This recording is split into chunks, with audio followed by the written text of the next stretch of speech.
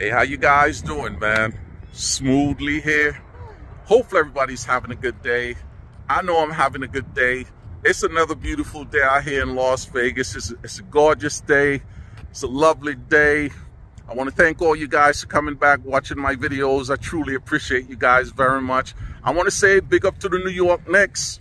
I know we got a lot of New York Knicks haters out there, but remember, man, we've been suffering for years, and it's good to see that New York Knicks is doing what they're doing right now. Are they overachieving or they underachieving? I say that we are underachieving. You know, so far, we are without key players, you know. We got Philadelphia out the way. Everybody thought that we weren't going to make it out the first round, but we did. Now we have Indiana that we're going to be taking care of business. But you know, this is not what this video is really going to be about. You know, I had to do a voiceover here on this video. While I was out there running around with my daughter in the park, the wind started blowing a little stronger. So, you know, the wind was kind of distorting this fabulous, smooth Caribbean accent here. Let me just stop joking around there, man. But no, seriously.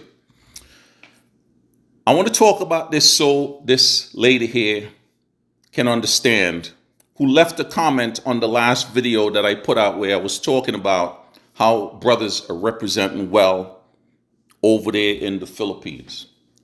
Well, this lady here probably went and started looking at um, some of these brothers' YouTube channel and find out that they have a light skin Filipino wives on their side. So her comment was, why is it that you black man here in America, you choose to want to go with the white women or the lighter shade of women and not the sisters? And you guys are going overseas and carrying that same attitude with you all, picking light-skinned women over the darker skinned woman.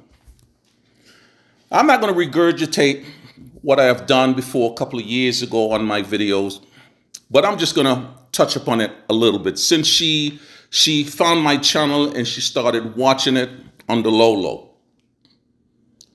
I am with my wife because of who she is, what she represents, how she matches my attitude, and the values that she bring to this relationship. We talk about the life that we wanted to live together. We talk about how we do want to raise a family together and how we want to proceed in life, the things that we're looking for, the things that we, we want to achieve in life. She was perfect. Now, just to give this lady here a little bit of insight, since she's lazy, she don't want to go back and watch some of my old videos. I said this before. Being with a Filipino woman was never a dream of mine. It wasn't a choice of mine. I was always into my thick Caribbean women or my thick American women. Take a look at this picture here. This is when I first met my wife. She don't have the curves where I like the curves to be, but she's beautiful. Damn. Hard body and sexy. But she was too white for me. But then I started talking to her more, getting to know her a little bit more, understand where she was coming from. We basically grew up in different parts of the world, but we grew up the same way, was raised the same way, have the same type of values. So I overlook her light skin. I overlook her not having the curves because she was the perfect woman for me. And that's the reason why I end up marrying my beautiful wife. I don't know what to tell you about why those other brothers end up with those light skinned Filipino women over there in the Philippines, but I think I know why. The same exact thing that I see in my wife, it's the same exact thing that these brothers saw in their wives. That's why they marry those women.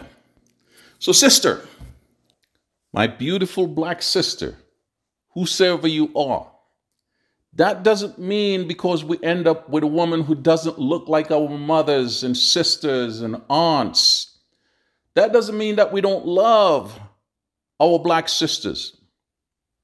That don't mean that we don't care about our black mothers. We choose to be with these women because of how they treat us. We choose to be with these women because certain things that we might have going on with us, they overlook those things.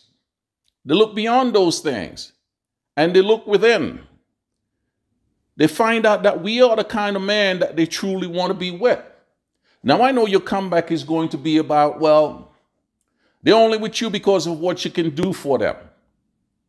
Well, we can say the same thing about you looking for a man here in America who have a lot of money and can do a lot of things for you. It happens all over the world. So I truly don't know what to tell you. I don't think I can continue on with this conversation here because, you know, I think this conversation has been had so many times before, and it's really kind of tiresome of us brothers have to keep explaining ourselves to, you know, some of you sisters. But I, I truly don't know what else to say. You know, I'm just hoping that you find your peace. Truly. I'm praying for you. But like I always say to all my regular subscribers, it is always peace and love. Peace and love. Yo, sister man, you know something? If you're so angry at brothers for the kind of woman that we're ending up with in life, why don't you go see if you can date an Asian guy or a Mexican guy or a white guy if we're not available for you? Nothing's wrong with that. Maybe you need to give that a try and then just stop worrying about the kind of women them that we end up with in life because those are the kind of women who treat us the way that we want to be treated like. But I'm sorry. Like I said, find your peace, sister. Find your peace. All right, man. Peace on out. Peace on out.